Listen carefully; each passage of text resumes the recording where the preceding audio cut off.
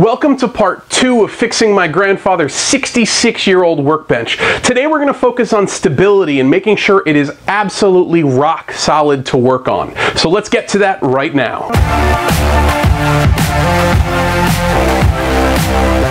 This is the second part of a two-part series on me fixing up my Grandpa Bill's workbench. If you're interested in seeing part one, I'll link it up here somewhere, and if you're not, don't worry because we're gonna get into stabilizing the table right now. Now the problem with my workshop being so tiny is that it's really hard for me to show you the whole table so I can show you the whole problem. So instead of that, I shrunk the table down to a not at all to scale size model. Meet Mini Bench. Now, obviously, this does not in any way represent how my grandfather built the bench, but it does allow me to illustrate very clearly the issues with it. If you just take a look at these four attachment points, where the legs meet the tabletop and the shelf underneath. Now, ideally, these four points should make a rectangle with four 90 degree angles. But when it wobbles, that doesn't happen. If we exaggerate that wobble, we see that the rectangle actually becomes a parallelogram. Now, I am so sorry to bring math into this. Whoa, it's uh, it's really not that bad. I, I just mean to say that whenever a rectangle becomes a parallelogram, the only thing that's happening is that the two opposite sides are either getting closer together or farther apart, and that we can easily fix with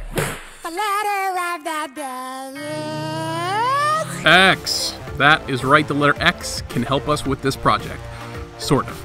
Here, check it out.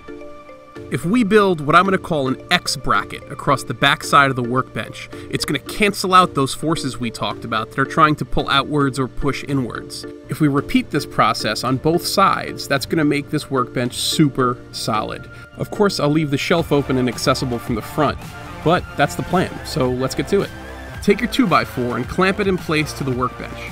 Then on both the top and bottom, take your Sharpie marker and mark where the leg of the workbench meets your 2x4. These marks will show you where to cut so that it fits the way you want it. Then grab two screws and tack it back in place for now. Grab two cut-offs of 2x4s or whatever you have laying around and put them in the opposite spaces, top and bottom, to work just as a bracket spacer for now. You'll see, it makes way more sense when you look at it. What we'll have is the X bracket part A in the center, and then spacer 1 and spacer 2 on either side. What these spacers do for us is make it way easier when we go to make part B of the bracket. All you have to do is clamp it up, and this allows us the proper spacing to make all of the marks we need to. Other than repeating the process for the length marks we made on the first piece, we also mark out where the boards cross on each beam. And then take everything off that we just did. Trust me, it'll all make sense soon. Earlier, when we were looking at mini bench, we quickly realized that this point, where the 2x4s cross, would give us the biggest issue, because 2x4s don't bend like thin pieces of wood do. So the plan is to notch out the 2x4s so that they fit together, offering us even more stability. Where the wood crossed on the side of the boards that were marked, we're going to cut halfway down into each along those lines we made. I simply marked the line on the side of the board halfway down so I know where to stop cutting. Then I chiseled those sections out to that same depth, making sure to carefully clean out the notches so that when put together we had a nice snug fit.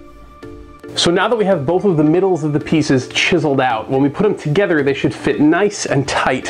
Let's take a look. Awesome.